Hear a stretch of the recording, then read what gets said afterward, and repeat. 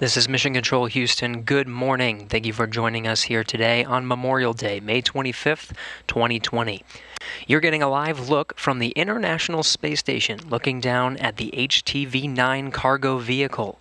The space station and HTV flying just about 259 statute miles over the Arabian Sea on an orbital daytime. HTV has just departed the 250 meter hold point and crossed what's known as the keep out sphere.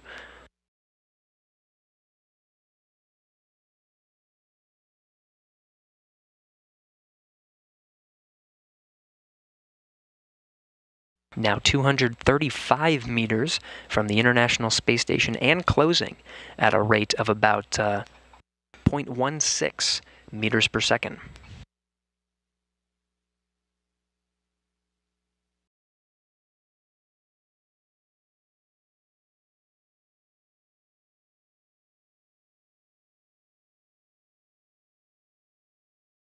This is the view uh, that Cassidy and Vagner are watching as we speak. This view provides telemetry. And now that HTV is inside the keep out sphere, Cassidy and Vagner have the ability to issue an abort of HTV's approach if communications with the International Space Station has been lost with the International Space Station Flight Control Room.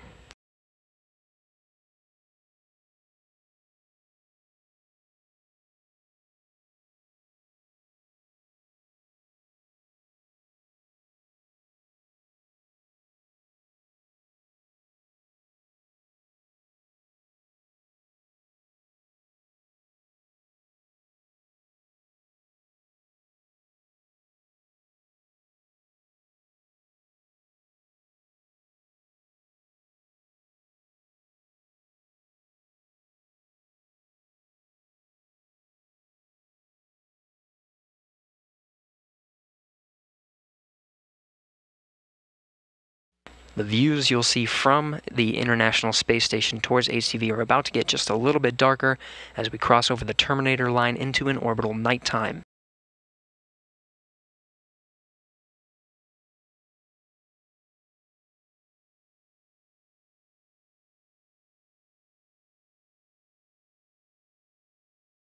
The International Space Station Flight Control Room confirming a good uh, 30 meter hold HTV will remain in this position uh, through the orbital nighttime, so for just about 40 or 45 minutes. Station Houston and 2, HTV has begun approach from 30 meters, monitor per step 9 and 1 decimal 102. Step 9 in work.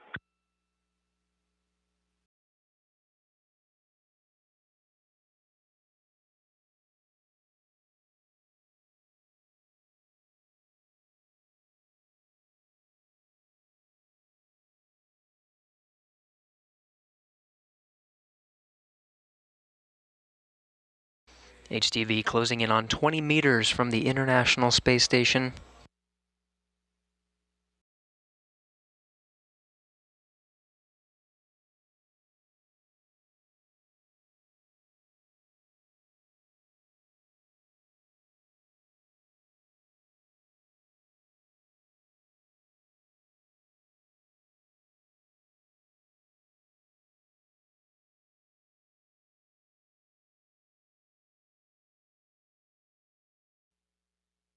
HTV continuing to slow down just a little more than 10 meters from station now.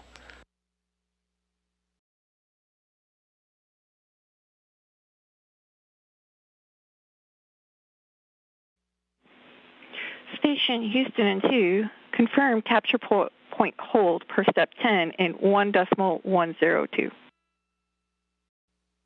Houston, uh, station, the capture point is confirmed. The grapple fixture remains within the capsule volume on both camera views.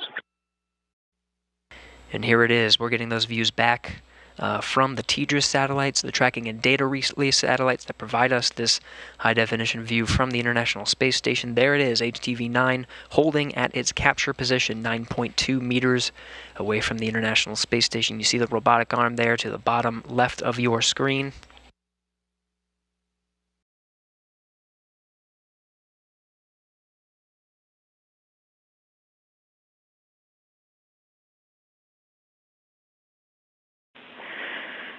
Station Houston and 2, Chris, you are go for HTV capture sequence.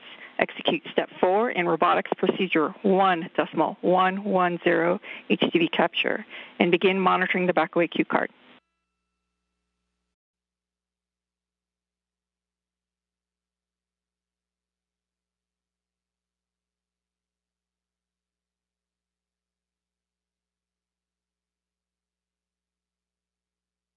Starting to see some movement of the robotic arm. HTV configured for free drift.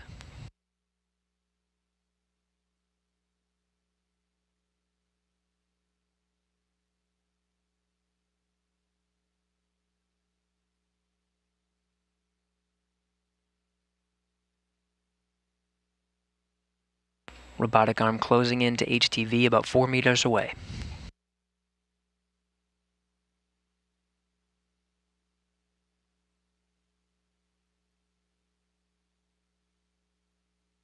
Heading in for an early capture of HTV today.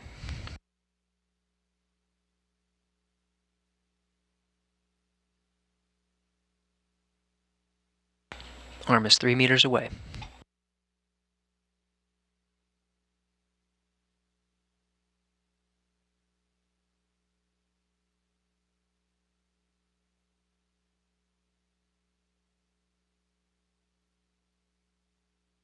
HTV now confirmed in free drift. Arm is two meters away. Stand by for contact.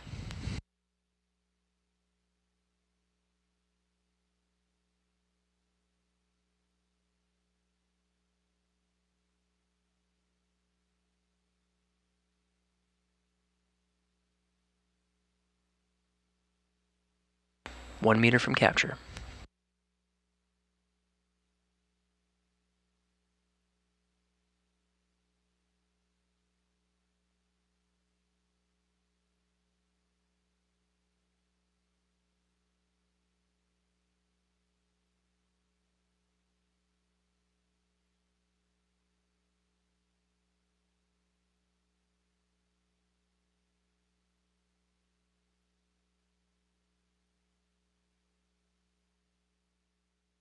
Arm is over the pin. Good trigger. snare is closed.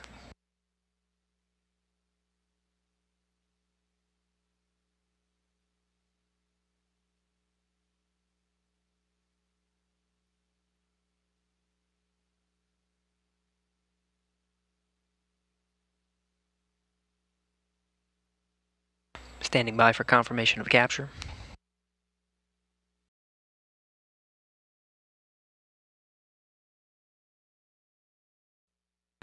And we have capture confirmed, 7.13 a.m. Central Time. HTV and the International Space Station were 260 miles. Post-capture reconfiguration. It was an honor for Expedition 63 to be part of uh, the final HTV mission a vehicle that has contributed so greatly to the International Space Station program. Congratulations to our friends and colleagues at, in Tsukuba. And Christian Ivan, congratulations on an excellent job capturing Kounotori. From the first arrival of uh, JAXA's HTV cargo ship on September 17, 2009, this invaluable resource from our Japanese partners has delivered vital supplies, experiments, and new batteries to, to extend the life of the station. Today's arrival of the final in the series of this genre of HTV vehicles marks a transition to a new and even more capable vehicle in the HTV-X, which will soon make its debut. We congratulate our Japanese colleagues for a magnificent chapter in space station history and wish them all the best in the next phase of resupplying the International Space Station in the years ahead.